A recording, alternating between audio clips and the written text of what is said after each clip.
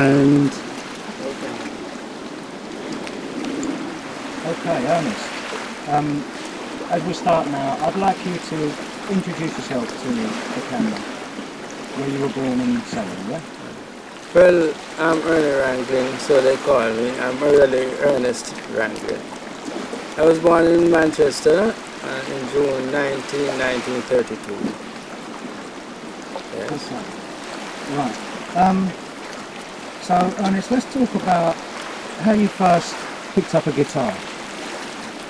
Well, I saw my uncles, they used to play, and um, I eventually watched them, and whenever they were out, I tried to play. I'm really self-taught. So, when did you first start playing professionally, so to speak? Was that when you came to Kingston? Yes, and um, I started to study the thing properly from books uh, at the age of 14. And um, uh, about a year after that, I was in um, uh, Val Bennett's band. So I started from Val Bennett's band, but I was still studying from books. Well, I still, I am still trying to study, you know, to learn things too. Yeah. Else was in Val Bennett's band with you then, Thomas? Uh, let me see now. Wow, it's a, such a long while. Uh, I call him Prince uh, uh, Mr. Bap. Uh, it's an alto player, I'm trying to remember his name, you know. And then we had Lester Williams. Uh, we have Chick Roy, little Chick Roy. And we had, um, we call him the Hunch. Uh, I can't remember his name now. Um, don't about two more trumpeters, you know. Okay, Yeah. so when you when you started playing with Val Bennett, then the scene those times was really jumping with big bands. Yes, yes. We used to play stock arrangements. But um, what we really call stock arrangements, it would be like what whatever all those big bands play, Duke Ellington, name it. And um, they come in um, the same stock sheets that every band can get the same music. And whoever plays it best well, you know. So something. So, what were some of the bands playing around Kingston around then that, were using these arrangements? Um, some of their, if you could call some of their names. Well, I'm like Roy Coburn, George Alberga, uh, uh, Eric Deans, uh, St. Val Bennett, uh, uh, Jack Brown, Roy Coburn, and uh, many, many more people, that, you know. And, and who was the best out of those bands in your opinion? Jack Brown, because I think, um, well, he was a he was a he was a musician who could uh, do his own arrangements for his uh, orchestra, and I think that's what um, a, band leader should have so that ability to do that. So I look forward to Jack Brown for that, and I, that's how I rated him. Right. Then you started playing after with Val, um, Val Bennett. You started playing with Baba Motta. Yes, um, no, I went to Eric Deans'. Right. Yes, and um, was for a while with Eric Deans, where we even went to Haiti. We brought back the mambo, and you know, at those times the mambo and uh, merengue was a beat that was just coming in. And then after that, I left and I went went to um, uh, Baba Motta's group, and I was I played with Baba Motta for a while. We were the first people to open Montego Beach Hotel and um, so forth, you know, and um, we, um, now we have the Reverend Cook, who is a trumpeter. He's still a trumpeter, and um, he was the, the trumpeter and bass player into that group too. His name is Reverend Billy Cook. Yeah. Iron Yeah. Um, so, Coney Park would Yeah. be one of the venues that those type of those bands would play. at. Uh, Coney Island, Coney Island. Yeah.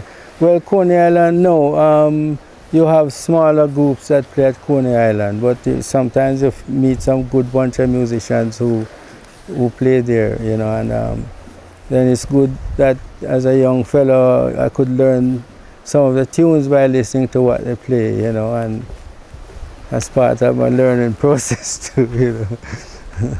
And you were teaching other guitarists as well at this time? Well, yes, I have taught many, many, many guitar players that I can't remember.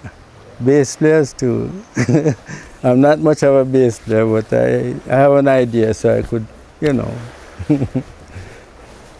right, so this went on all through the 50s? Yes, yes. And coming up to the end of the 50s, then you met up with Chris Blackwell?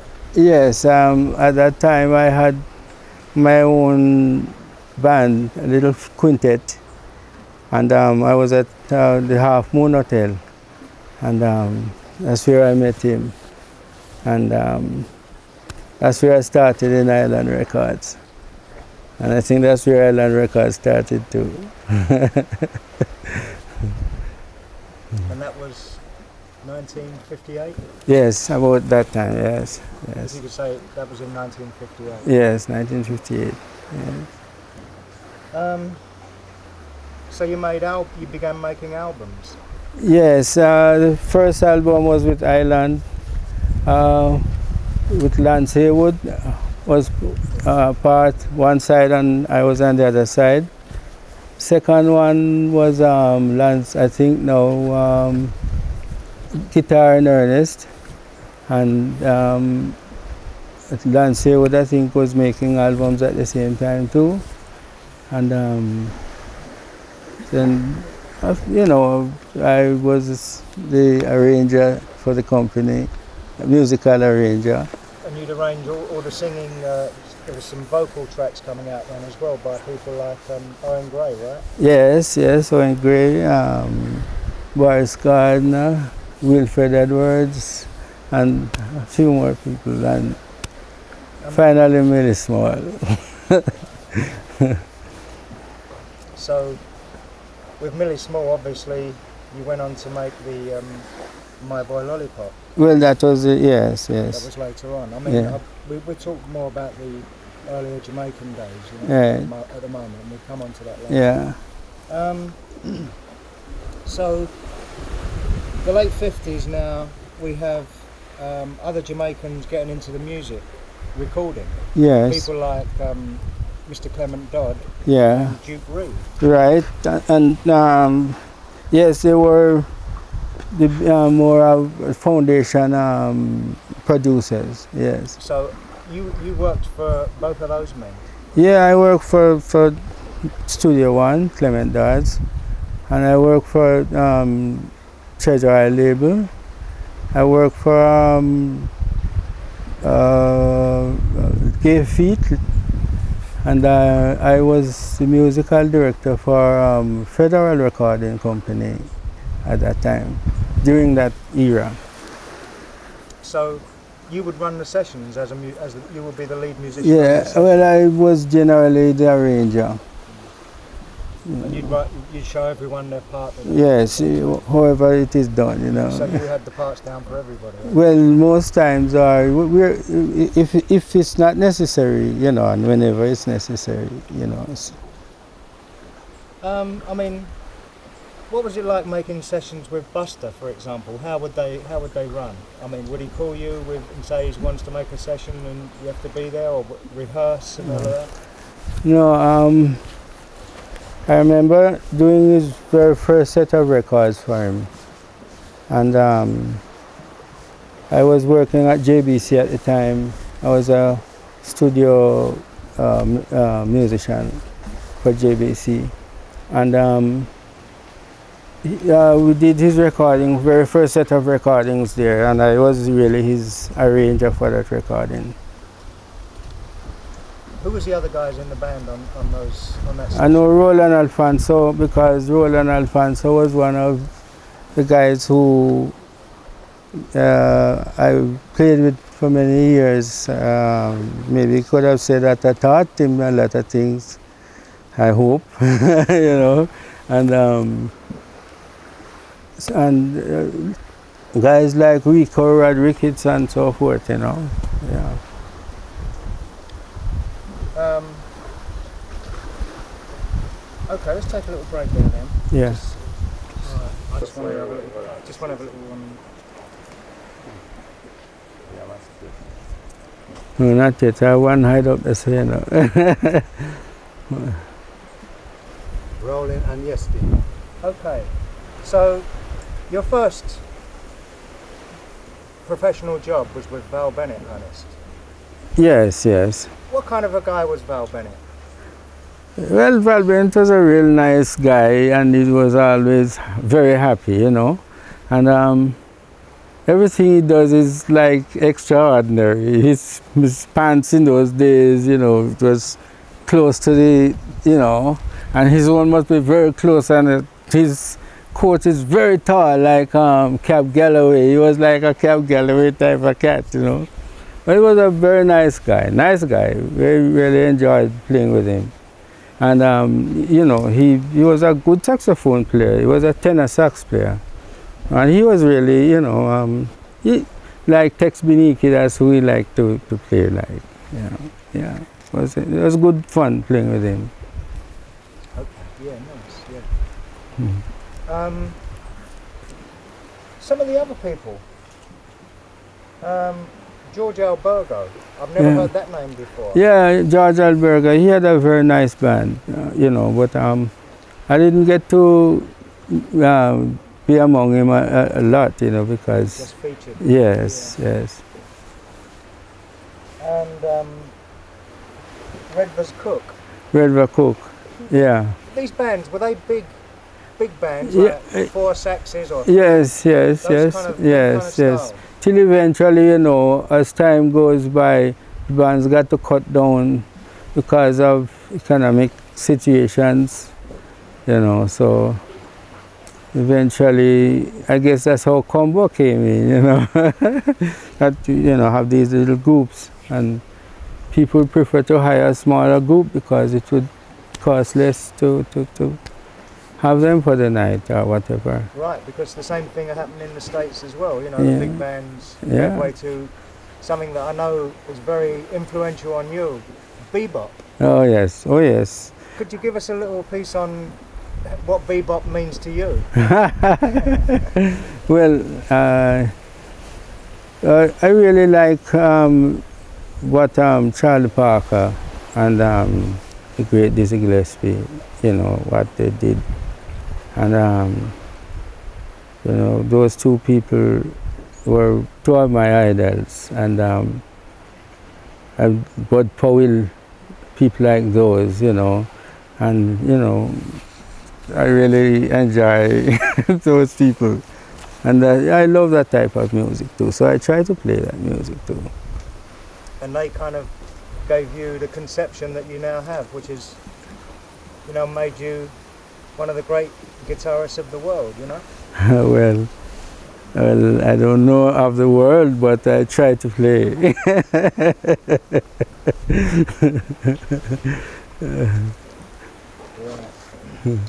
Um, Right, well, take a break. Yeah. Thank you. Some of the sessions like It Hurts to Be Alone, the Wailers, Oh, where you take the you, you play the main solo in that tune. yeah. Can you remember um, that session that day? Some some of the things about that. Well, um, it was Bob Marley, uh, uh, um, the, the, the Wailers, uh, we were the, um, our great uh, guy who died there, um, um, Peter. Peter Tosh, yeah, you know. Well, um, I think Bunny Wailer was was in it too, and um, was it Brad Waite? Junior. Yes, Junior, Braithwaite. And um, I think, you know, one, one of the guy who was instrumental in bringing them to the recording was um, Ace, Richard Ace. Yes, piano. But then they didn't, um, it was done otherwise, just guitar, bass, and drums instead of piano. And um, but Richard Ace was the person who was instrumental in bringing them there, you know. So just the four musicians a day. Yes, it was just bass, drums, guitar. I think that's all it was bass, drums, and guitar. Yeah. And, um, that was their f- first good uh, hit that they ever made, you know. And one take of that, just one take. I don't remember if it was just one take, but uh, it could be, could be.